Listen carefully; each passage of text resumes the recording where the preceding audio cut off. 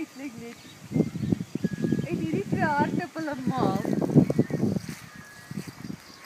Ai, dit is. En wie het agter?